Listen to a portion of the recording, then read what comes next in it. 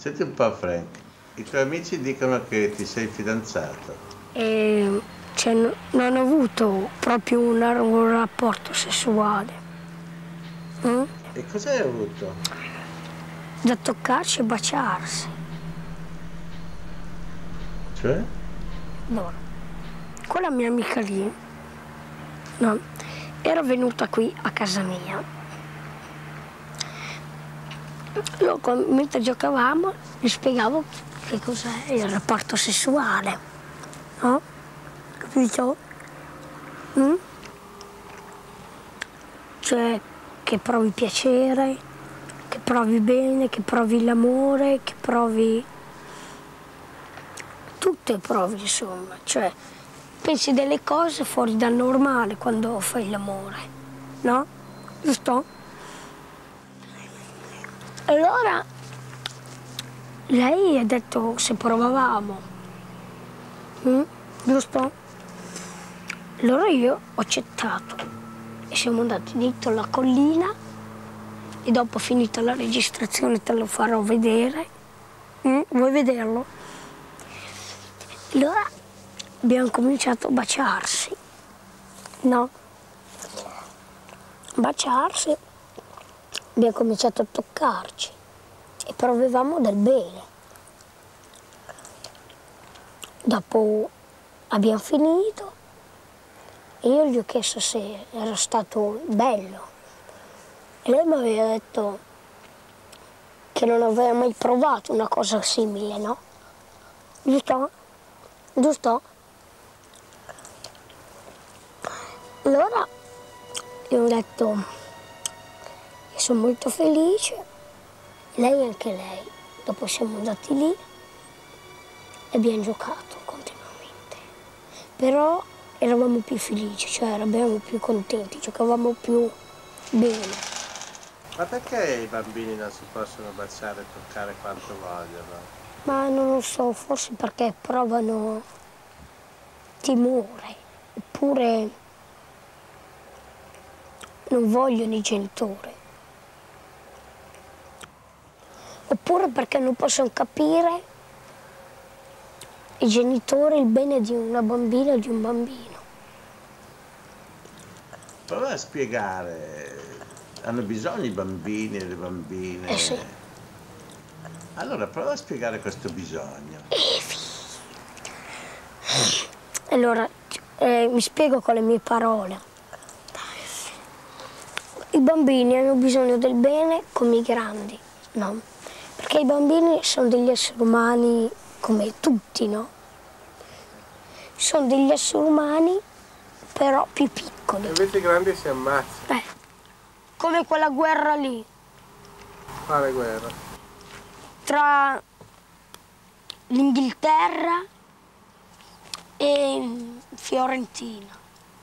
Una guerra Stupida. stupida per due isole.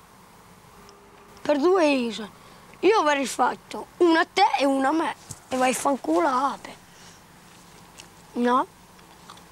Invece anche ieri due, due aeroplani, dei jet che costano 3 miliardi, ma io non li spendo di jet, io li spendo per fare una bella vita. 3 miliardi io li spendo per fare una bella vita e non per fare la guerra. E cioè, che bella vita faresti con te? Liliana? Ma comprerei una casa in campagna, con una piscina, comunque casa da lavorare, con la mia ragazza andiamo in piscina e stiamo lì fino alle 7. Poi veniamo in casa, facciamo la doccia assieme, ci laviamo assieme, cioè lei mi lava me, io la lavo lei, dopo mangiamo, guardiamo la tele e andiamo a letto. E a letto facciamo l'amore.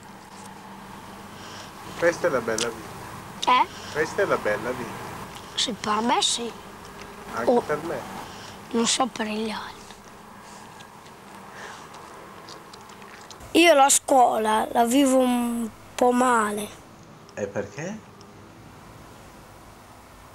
perché non ne ho voglia.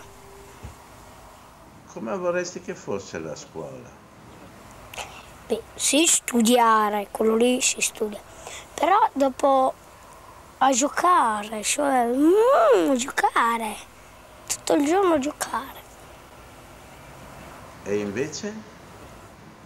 Dai, parlami della scuola, come la vivi tu? Invece è, è così mogia, si studia sempre, ci sarà mezz'ora di ricreazione, nel pomeriggio ce n'è un'ora, cioè non è molto precisa nelle sue cose. E poi una- la scuola è una cosa da stare in gabbia, cioè non, a scuola non puoi vivere, non puoi giocare, non puoi fare l'amore, no? Allora, per me la scuola è una gran cazzata, cioè, poi, sai, quando la maestra ti chiama, cioè, un po' una cacchiata perché uno magari non ha studiato, gli dà la nota. Cioè, sono robe che nella vita non c'entrano. La nota, quelle cose lì non c'entrano. Invece nella vita c'entra l'amore, il bene, la gioia, la felicità, scoprire la vita. A urlare, voglio vivere, voglio essere libero, vai in Cina, vai in America, vai negli Stati Uniti, vai a New York, tutte le parti del mondo Così puoi scoprire che nel mondo ci sono delle altre, cioè delle altre modi diversi da pensare. Perché secondo te i bambini vengono trattati in un modo così strano dagli adulti? Come se fossero scemi? Perché i bambini, gli adulti, credo che i bambini non siano buoni da fare niente. Invece? Invece magari, se vogliono, i bambini sono superiori dei grandi. Perché hanno un modo diverso da pensare. Immaginano le cose più belle, più pure, no? Invece i grandi con malizia lì, come te.